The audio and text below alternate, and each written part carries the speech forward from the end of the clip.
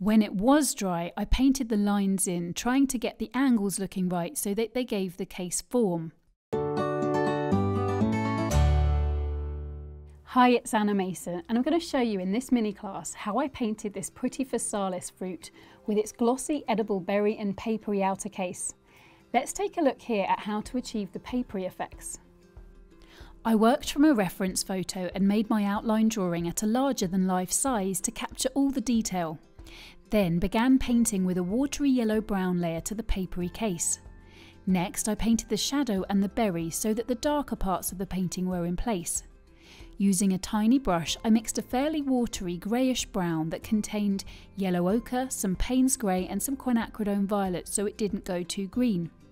I applied it into the darkest areas of the papery case, applying the mix anywhere this hue and tone or darker, leaving gaps to the dry pale layer of paint underneath where the colour is lighter.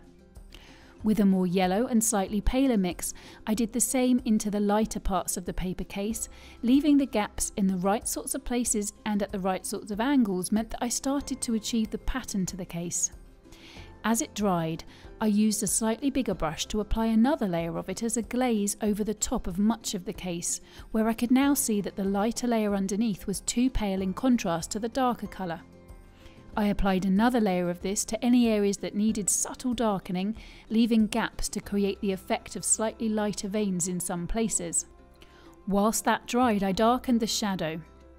I mixed a darker brown mix and used my tiniest brush to apply the dark paint.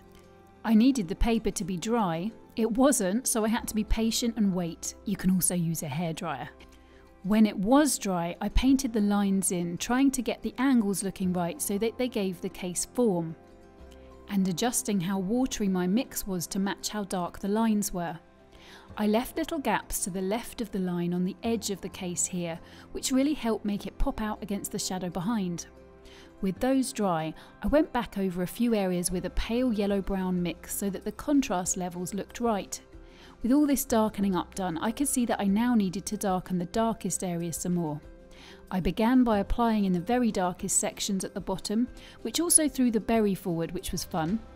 Having those dark details in then allowed me to see how much darker I could take the darker areas within the papery case, so I applied another layer of watery grey paint to those now. Then I darken the lighter areas a touch more, I then darken the shadow and berry some more before going back to the case and adding even more detail in the form of extra lines, as well as darkening up some more in a few places with mixes of grey and also mixes of the yellow-brown colour. The paint was never very thick, so I could make quite subtle adjustments. I then darkened up the very bottom again, and the shadow again before finishing the final details to the papery case.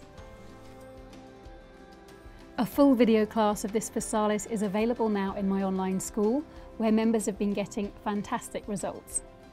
If you've enjoyed this mini class, please subscribe to my YouTube channel, then hop on over to annamasonart.com where you can take a full-length video class for free and find a whole heap of resources to help you capture the beauty of nature on your paper. Thanks so much for watching and I'll see you again soon.